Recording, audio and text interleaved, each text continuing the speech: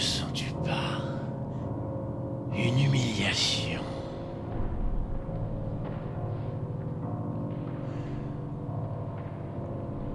De découvrir que les femmes de nos ennemis nous jugent mieux que nous-mêmes et savent mieux que nous ce qu'il nous faudrait faire pour nous en prendre à eux?